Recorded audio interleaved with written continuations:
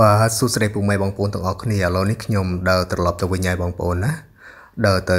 ម៉ូតូខ្ញុំទុកនៅខាងមុខផ្លូវចូលពីចំហៀងខាងកើតហើយម៉ូតូនោះគឺខ្ញុំទុកចោលបងប្អូនណាមានតែម៉ូតូខ្ញុំម្នាក់ឯងទៅខ្ញុំចូលមកខាងក្នុងប្រហែលជា1ម៉ោងជាងហើយបងប្អូនណាដើរឆ្វែជំវិញប្រាសាទមន្ទីរឆ្មាហ្នឹងគឺបានមកជុំដែរ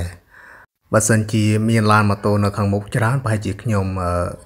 ដើរឆ្វែលបានយូរបន្តិចប៉ុន្តែដោយសារតែអត់មាន ឡានមានម៉ូតូអញ្ចឹងទៅគឺខ្ញុំអត់ហ៊ានឲ្យយូរទេបងប្អូនណានេះនៅម្ដុំនឹងក៏មានសភាពបាក់បែកទៅទ្រាំខ្លាំងគឺបាក់បែកតិចទីអស់ហើយបងប្អូនណានៅម្ដុំនឹងហើយនឹងគឺផ្លូវដែលខ្ញុំដើរមកពីខាងលិចមិញណាហើយខ្ញុំត្រូវ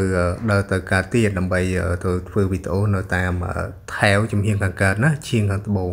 គឺមានចម្លាក់ច្រើនមែនទែនហើយសម្រាប់ចម្លាក់នឹងគឺស្តៀងទៅនឹងចម្លាក់នៅប្រាសាទបាយ័ននៅទីក្រុងកោធំបងប្អូនណា ឥឡូវម៉ោង10ជាងហើយបងប្អូនណាខ្ញុំត្រូវធ្វើដំណើរស្រួតស្រួតពួកអីខ្ញុំទៅបើដើរលេងបានពីភាសាទេ ទីមួយគឺភាសាមន្ទីរទ័ពហើយចេញពីភាសាមន្ទីរទ័ពគឺខ្ញុំមកលេងភាសាមន្ទីរឆ្មានឹងហើយខ្ញុំត្រូវទៅលេងភាសាយេជូដែលស្ថិតនៅខាងកើតនឹងហើយភាសាយេជូនឹងគឺខ្ញុំអត់ស្គាល់ទេ ហើយចេញពីប្រាសាទយេជូនឹងតាមខ្ញុំសួរអ្នកភូមិដែលរស់នៅក្បែរផ្លូវហ្នឹងថានៅកញ្ជើហ្នឹងគឺមានប្រាសាទអ្នកពន់មួយគឺជាកន្លែងដែលទាក់ទាញភ្ញៀវទេសចរនៅតំបន់ប្រាសាទទេឆ្មាណាប៉ុន្តែខ្ញុំអត់ស្គាល់ទេបងប្អូនណាខ្ញុំមើលខ្ញុំទៅលេងប្រាសាទយេជូសិនចេញពីយេជូទៅអ្នកពន់ឥឡូវនេះខ្ញុំ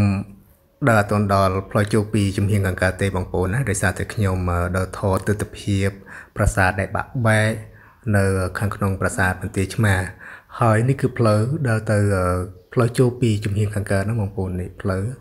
អឺទៀបខ្ពស់ទៀបខ្ពស់ណាបងប្អូនមើលផងពួកខ្ញុំដើរចពប់ជើងប្រមាណដងហើយបងប្អូនណារវល់តែដើរថតប្រាសាទហើយនឹងដើមស្ប៉ង់ផ្លិចមើលក្របងប្អូនស្មានតែផ្លូវហ្នឹងគឺរៀបស្មើមានអីនោះផ្លូវខ្លះគឺចុះទៅក្រោមរួចឡើងទៅលើបងប្អូននេះដូចដែលឃើញនៅក្នុងរូបភាពហ្នឹង នៅសល់តែប្រមាណម៉ែត្រទៀតទេបងប្អូនណាខ្ញុំដល់ផ្លូវចូលពីចំហៀងខាងកើតហើយនេះនៅម្ដុំនឹងដូចជាឃើញមានចម្លាក់គឺនៅស្អាតបងប្អូនណានៅតាមអឺផ្នែកផ្សេងផ្សេងណានេះចម្លាក់ហ្នឹងគឺនៅស្អាតដែរចម្លាក់ហ្នឹងដូចជារូបព្រំមុខ4ណាគឺនៅស្អាតកាលខ្ញុំដើរមកគឺខ្ញុំអត់បានថតទេបងប្អូនណាចម្លាក់មួយទាំងហ្នឹងដោយសារតែ ខ្ញុំដើរមកគឺឃើញព្រះសង្ឃពីរអង្គហើយជាមួយអ៊ីកូនគាត់អញ្ចឹងគួយកន្លែងហ្នឹងតើខ្ញុំដើរហួសខ្ញុំគិតថាចាំត្រឡប់មកវិញគឺខ្ញុំថតចម្លាក់ហ្នឹងដើម្បីឲ្យបងប្អូនទស្សនាទាំងអស់គ្នាណាហើយនៅខាងមុខហ្នឹងក៏មានចម្លាក់មួយផ្ទាំងដែរណានេះត្រង់នេះនៅកន្លែងហ្នឹងគឺមានចម្លាក់មួយផ្ទាំងដែរចម្លាក់ហ្នឹងគឺសម្រាប់ប្រកេះគឺបាក់បែកខ្លះនៅសល់ខ្លះណាបងប្អូនហើយនៅកញ្ជើហ្នឹងគឺស្រះទឹកអឺ វីដេអូមុនបងប្អូនប្រហែលជាដឹងហើយគឺស្រះទៅដែលខ្ញុំបានប្រាប់ណាហើយនៅសល់ប្រហែលម៉ែត្រទេបងប្អូនណាប្រហែលម៉ែត្រទេគឺអឺដល់ខ្លងទ្វារជំនាញកង្កើតហើយណាប៉ុន្តែសម្រាប់ខ្លងទ្វារហ្នឹងគឺបាក់បែកអស់ហើយបងប្អូនណានៅកន្លែងហ្នឹងដូចជាមានចម្លាក់មួយផ្ទាំងដែរគឺនៅស្អាតស្អាតមែនទែនចម្លាក់មួយផ្ទាំងហ្នឹងណានេះចម្លាក់ហ្នឹងគឺនៅស្អាតមែនទែនហើយដូចជាមានអឺ រូបអ្នកក្បាល3ហើយចម្លាក់មួយផ្ទាំងហ្នឹងក៏នៅស្អាតដែរដែលគេគុំឡើងវិញណាហើយឥឡូវនេះខ្ញុំកំពុងដើរទៅថែវចំហៀងខាងកើតឈៀងខាងត្បូងណាថែវហ្នឹងគឺមានចម្លាក់ច្រើន ស្តៀងទៅនឹងប្រាសាទបាយ័ននៅទីក្រុងកោធំហើយចម្លាក់មួយផ្ទាំងហ្នឹងដូចជាលោកេស្វរៈណានៅពាក្យកដាខ្លួនសម្រាប់ពាក្យកដាខ្លួនគឺបាក់បែកអស់ហើយសម្រាប់ចម្លាក់ហ្នឹងគឺគេគុំឡើងវិញដែរ ហើយនោះគឺថែវជំនាញកង្កើតឈៀងខាងត្បូងណាចម្លាក់គឺស្អាតមែនទែននៅថែវហ្នឹងអត់សូវមានសភាពបាក់បែកទូទ្រោមខ្លាំងដូចនៅតាមថែវផ្សេងផ្សេងទេ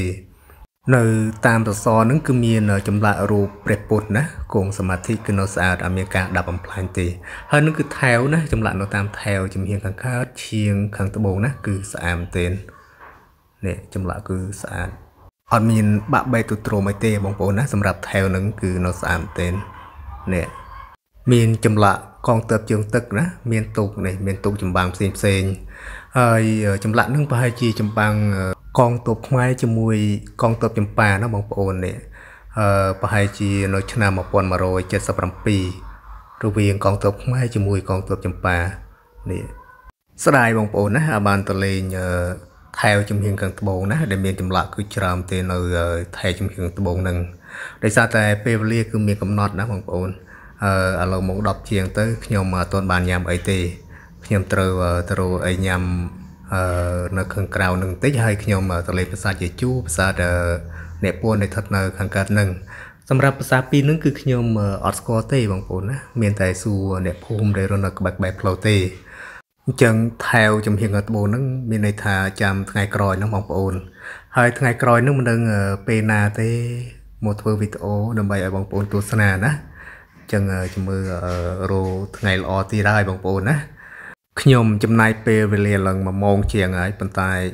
នៅតែថតអត់បានជុំប្រាសាទណានៅថែជំនឿត្បូងមួយ